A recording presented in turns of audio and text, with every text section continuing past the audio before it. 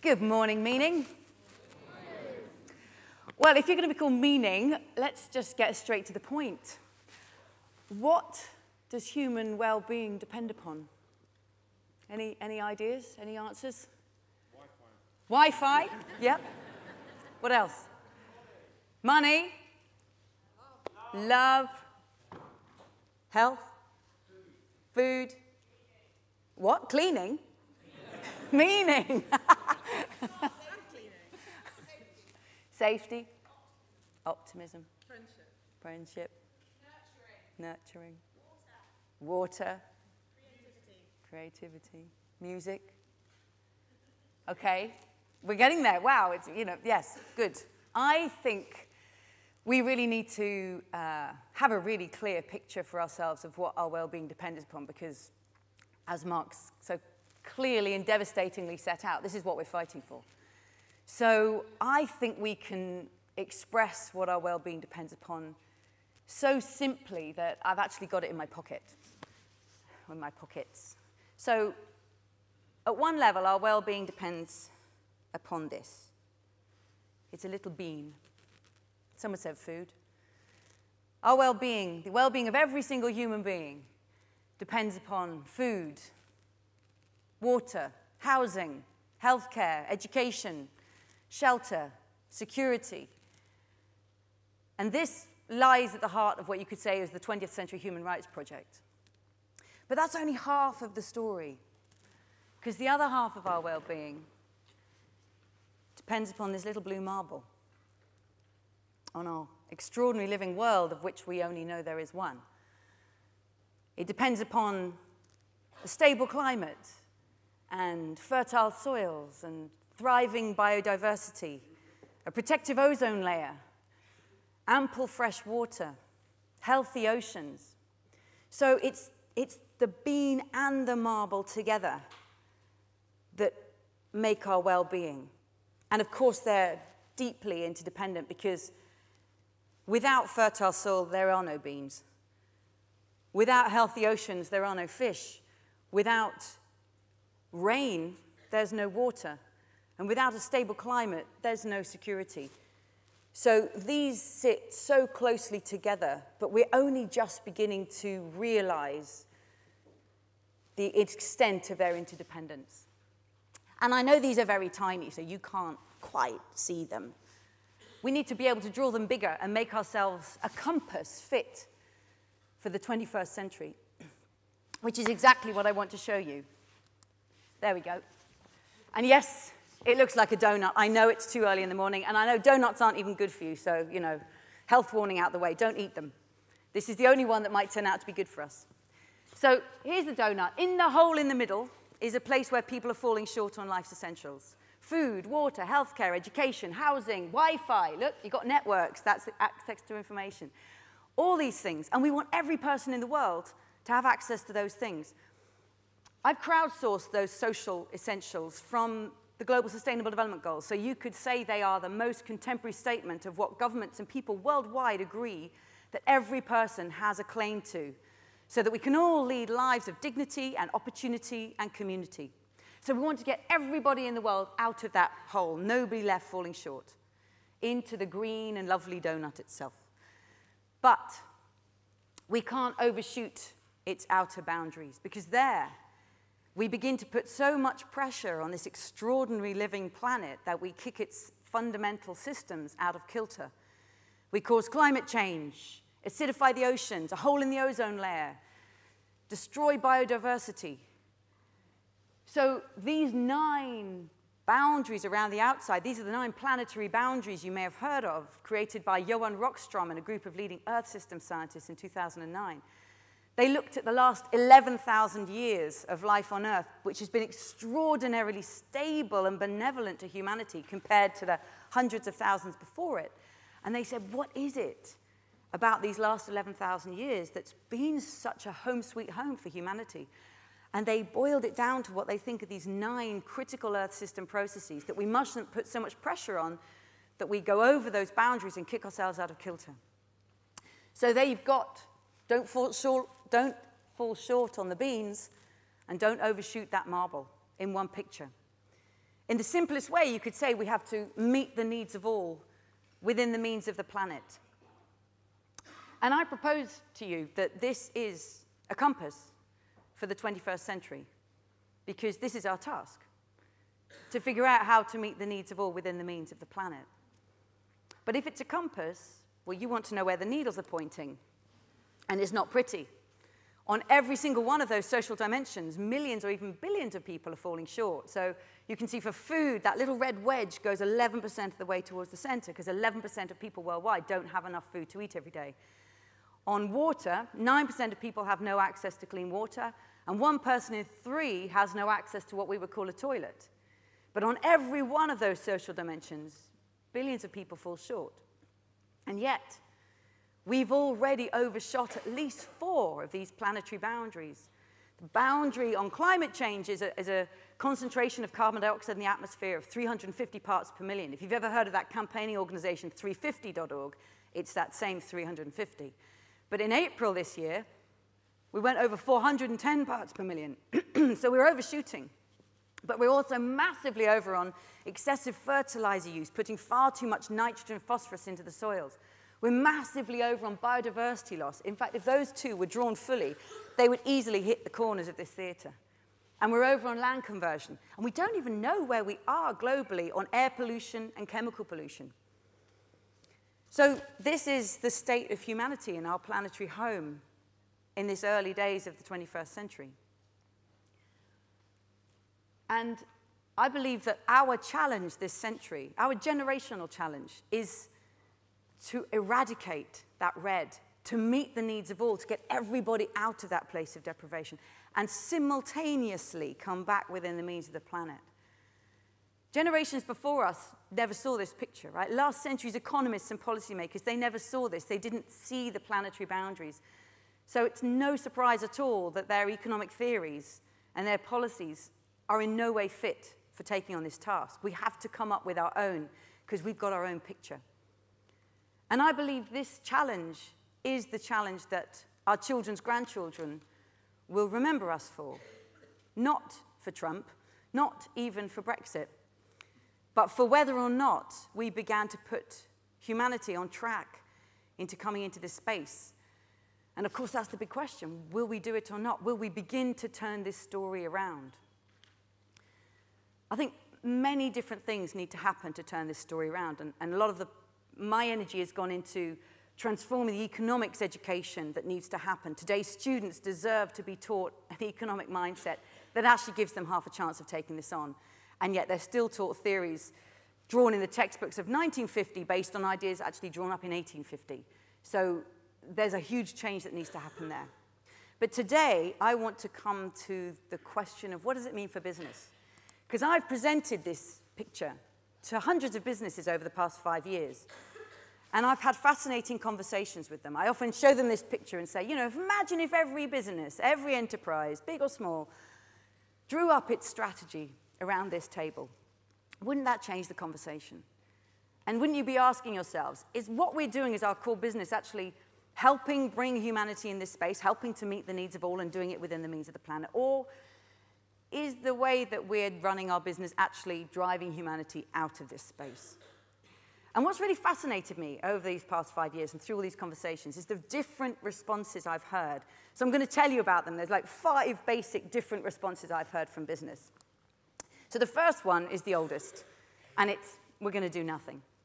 You know, Milton Friedman said the business of business is business. So they would look at that and say, well, that's a really sorry picture, but you know, everything we're doing is nearly legal, and we're just going to keep on, just going to keep on doing it until someone catches us and until the fines are bigger than our profits. But that's not going to work anymore. That's not going to work. And even these, these companies are beginning to get hit. So then we go up a level. What are we going to do? Well, we're going to do what pays. If getting a green, you know, ethical stamp on our product means actually we'll reach a new niche consumer market, we'll get that green ethical stamp. If cutting our carbon emissions actually will cut our costs, well, that will cut our carbon emissions. It's so incremental, it begins to pay, but only in very short, narrow financial terms. And it's never going to get us to where we need to go. So we need to go up. So the next step up on this corporate to-do list is, well, we'll do our fair share. And because of the rise of science measures, and you know, the world needs to cut its carbon emissions by 50% by whatever year, lots of companies are starting to say, ah, so if my country says it's going to cut its emissions by 20% in 20 years, we'll cut our emissions by 20% in 20 years. We'll do our fair share. I understand where that's coming from. But it, the trouble with it, if anyone's ever been out to a restaurant with a bunch of friends and everyone's chipped in what they think is their fair share, and you're the one picking up the bill at the end of the evening, it never quite adds up. And also, I'll do my fair share can quite quickly morph into what's my fair share to take. So I've been struck by the number of major oil, gas, steel companies that have come to me and said, mm, we like this donut. Now what I want to know is how much of that globe and carbon budget is ours? To which, of course, the answer is none, because we already know too much. We can't afford to dole out the right to pollute anymore. So we need to go beyond this fair shareism. So the next step up, and we're beginning to get transformational here, the next step is, well, we're going to do mission zero. We're going to have zero carbon emissions. We're going to be a net zero company. And that is transformational because it's beginning to realize that the cycles of the living world no longer have space for humanity to cut against them.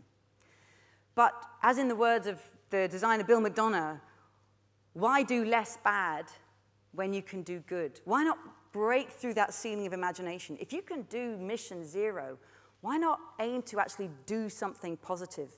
So right at the top of the list is the idea of being generative. Now, let me tell you what I mean by being generative. A company whose mission, whose inspiration is to be generative, will seek to be distributive by design and regenerative by design in the way that it runs its business. And I think these two design principles actually are going to run throughout the 21st century economy if we're going to have a chance of pulling back in here and meeting the needs of all within the means of the planet. So let me tell you about each of these. Distributed by design, what do I mean? I mean an economy and enterprises within it in which value created is shared far more equitably with all who helped to create it. And that often means redistributing the sources of wealth creation. So, some examples rather than companies that are owned by shareholders who never actually step over the threshold of the factory or office door, but extract an increasing share of the returns, as we've seen in all the news, and a company that's actually owned by its employees, whether it's an employee-owned enterprise or a cooperative. And this is the well, very well-known example of John Lewis Partnership, where every employee is a partner and gets a share of the value that's created by all. But it doesn't have to be such a big company. Here's my rather favorite one, the Colchester Print Group together as one. And of course, employee ownership and cooperative ownership is on the rise. It's a resurgent trend, spreading that value far more equitably through changing the ownership of enterprise. What about through value chains, right? Through ethical supply chains, working with partners, sometimes they're cooperatives themselves, to ensure that the value of their work remains with them, paying a living wage, investing back in their communities. But also going beyond employee owned and down the chain, to thinking about research and development. Now, I know this looks like a rock concert. It's actually not a rock concert. This is a software developers conference because Drupal is an open source software for designing websites. It's the platform that sits behind a lot of website designs. And once a year, all of the people who use Drupal get together. I think what they're doing is making a little drop to say, if you add up all the little drops, you get an ocean. Because imagine no company in the world can afford an R&D team this big, this committed. But this is what happens when you have an open source platform where everybody using it adds their ideas and it's a creative commons that they all collectively share in. So these are just some of the ideas that are already happening to turn enterprise into a distributive design. What about regenerative design? Well, the 20th century linear degenerative economy is what runs through the middle of this diagram right? We take Earth's materials, we make them into stuff we want, use it for a while, and then we throw it away. And that take, make, use, lose cuts against the cycles of the living world and runs down this extraordinary planet on which we depend. So we have to bend those arrows around and create a circular or cyclical economy in which resources are never used up, but are always used again and again, and it runs on sunlight. So you have the biological materials. If we just get out of the way, this is what nature does breaks materials back down into their fundamental building blocks of oxygen and hydrogen and nitrogen and carbon and uses them again and again. But also the technical materials, anything from this, this clicker to the monitor to this sofa, materials that we've made should never be landfilled or burned. Our children will say, Did you really throw plastic cups and just stick them in the ground? What were you thinking? But turn it into a cycle of reuse, refurbishment, redesign. And the thing about these two design principles is I think they have to work together, right? If we're going to have a regenerative economy, it has to be distributive by design as well. And I want to just show you, let me see. It's amazing what you can find lying on the back of a stage. Some hose pipes. So, just as a little example, let's imagine this is the linear degenerative economy, okay? We stuff in Earth's resources and we use them and a product comes out the end, but also lots of waste and pollution, and it just gets thrown away. So we've got to create a circular economy, bend that loop around so that it's actually the materials, you know, you bought a mobile phone and you send it back to the company and they get it back in. Can I just give this to somebody? Could you, could you hold that? That's it. There we go. Right, that's one mobile phone company. But then I've got another mobile phone company says, well, we want our mobile phones back too. So we're going to close the loop and we want all of our mobile phone customers to send it back to us. Could you just hold that one? Yeah, okay. So we've got two, there we are, hold it up, that's it. Got two little circular economy loops going. Now, I want everybody in this audience who's ever worked for any company that made anything to imagine that your arms are that linear economy and just put your hands over your head and make a little closed loop. Everybody who's ever worked for any company that made anything. Oh, you look gorgeous. you see, this is what we are at risk of doing, making a circular economy in which everybody has their own little closed loop and the products are coming back to me and I'm going to refurbish them. Because nature would say that was cute, guys. You can bring the loops now. nature would say that was cute, but nature would laugh at us. That she's laughing, can you hear? See, nature doesn't do that. Nature doesn't break. Right? Nature doesn't turn a daffodil into a daffodil and a peacock into a peacock. It all comes back down and right? nature does this. Nature does this. Woo! Nature is an ecosystem of resources that get reused endlessly by whichever user picks them up and finds them. So if we're going to create circular economies, we can't be sending everything back to the people we bought it from. We, we Westerners own around 10,000 products. There ain't no way you're sending 10,000 parcels back to the people you bought it from.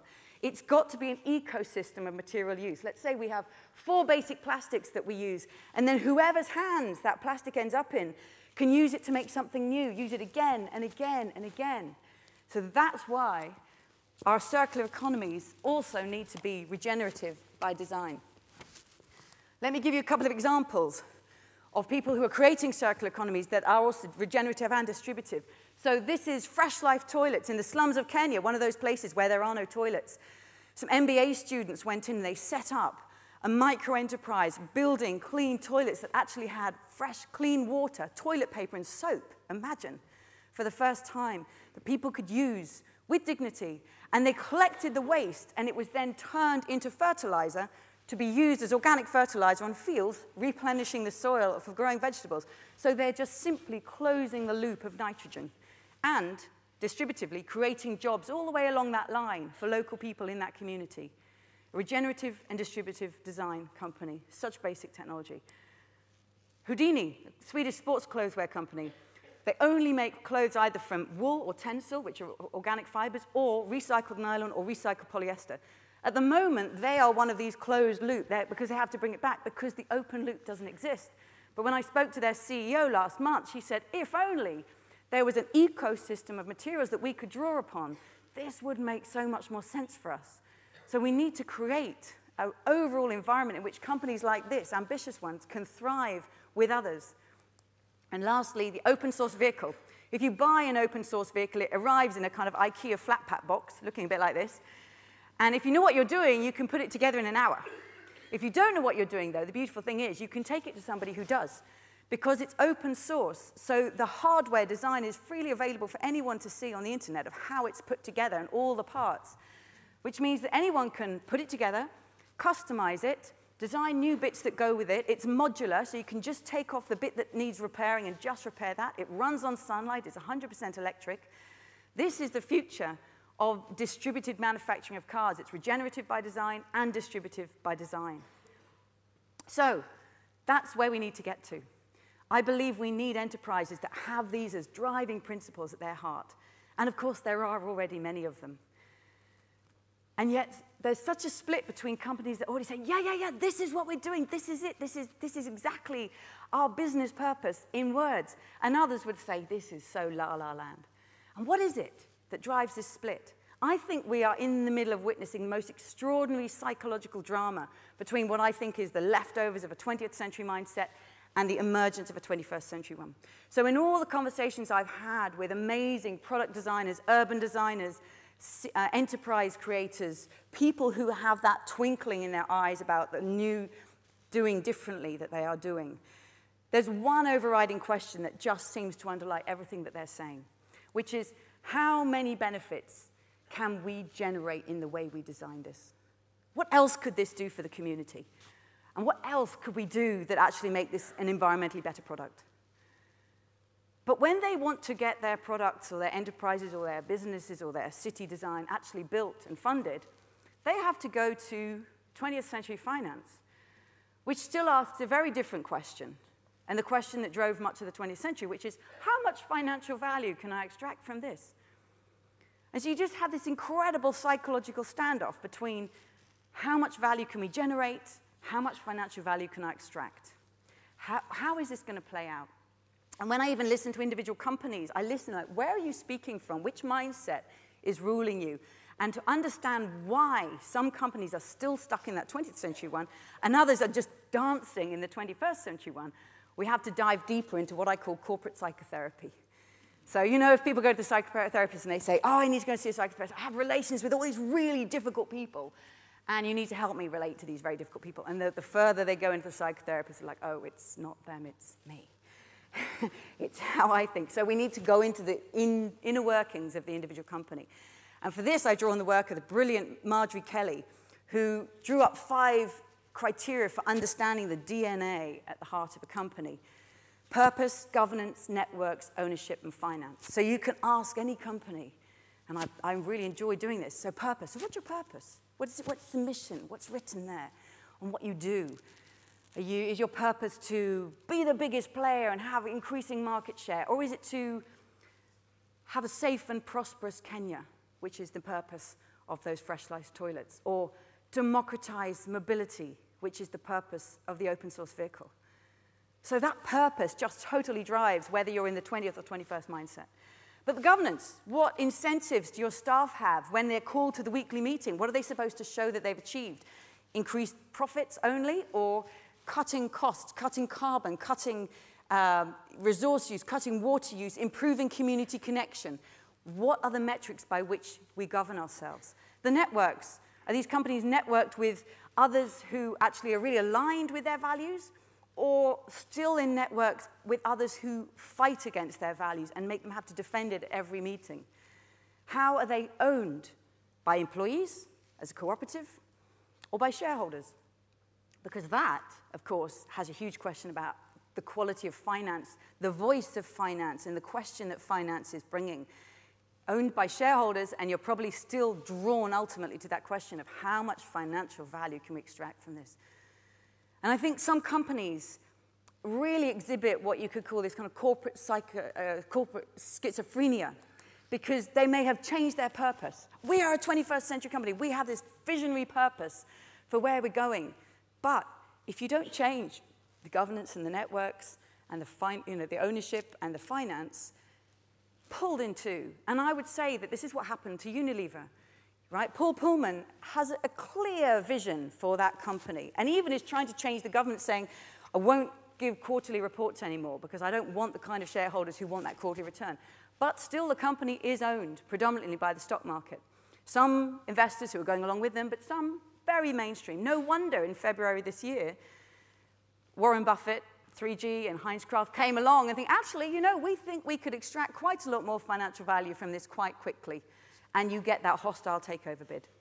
So you have to get away from this corporate schizophrenia and align all of this DNA with the 21st century vision. What would it mean to have governance that actually reinforces that, to be networked with others who share those values, to be owned and financed by those who actually believe in generating multiple benefits. And to me, this is the excitement of the 21st century enterprise adventure to create enterprises that align all of this DNA in the right way so that the entire enterprise can be dancing with that question.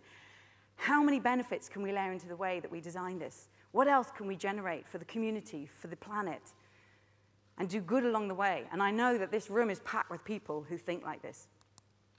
So let me pull back and, and invite you to ask that question. If we had a donut table at our, in our office, in our meeting space, and we sat around on it, and by the way, I can easily send you a PDF. There are, there are companies and hotels all over the world who've actually said, I'm going to do that, and they've put a giant a donut picture on their corporate table, and they meet at it and use it to talk about their engagement in the world. I'll send it to you if you want it. But imagine if you're doing that, how does it change the way you think about what your enterprise is and is for? Is it bringing us into this compass for which our children's children will remember us? So I'll leave you with that compass. And if you like these pictures, and if you think pictures, if you, like me, you think pictures and images really matter, you might enjoy these. I've, I've had the privilege of working with some of the world's best stop motion animators to make uh, one minute animation for each of the seven ways to think like a 21st century economist in my book. You can see that they're silly, playful, irreverent, which is exactly what they should be because we have to take economics out of the ivory towers, out of the equations, and realize that economics is what we all do and think and live and create every day. So, don't eat donuts, but this is the one that might actually turn out to be good for us. And I really enjoy hearing from all of the other speakers and from you today how we're making this happen. Thank you very much.